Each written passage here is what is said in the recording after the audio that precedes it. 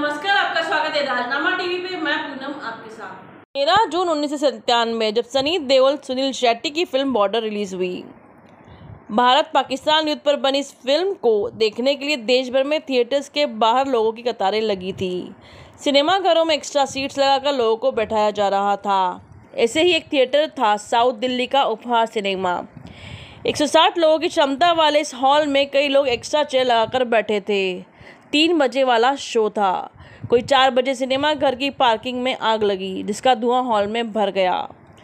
लोगों के निकलने के लिए एक ही दरवाज़ा था, जो गेटकीपर बंद करके कहीं निकल गया था, क्योंकि शो छूटने में पूरे दो घंटे बाकी थे। हॉल में धुआँ भरता गया, लोगों का दम घुटता रह गया। लोग निकलने के लिए पूरा ज़ोर कोशिश करते रहे, लेकिन बाहर नहीं जा पाए। एक के बाद एक, उनसाठ लोगों ने दम तोड़ दिया। कई गंभीर हालत तक पहुँच गए। इस हादसे को नाम दिया गया उपहार सिनेमा ट्रेजेडी। कई सालों तक केस चला। जांचें हुई कुछ सत्रह साल लगे पीड़ितों को न्याय मिलने में। आज इस हादसे को 26 साल हो गए हैं। इसी साल नेटफ्लिक्स पर इस घटना पर web series trial by fire भी आई है।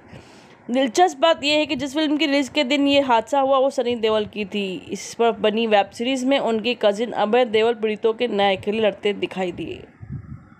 इसी के साथ बने रहे राजनामा टीवी के साथ।